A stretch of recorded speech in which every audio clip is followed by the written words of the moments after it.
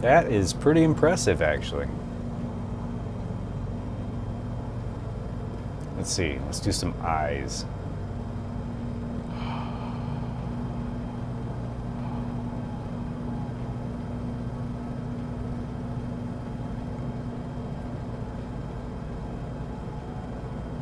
That is super cool.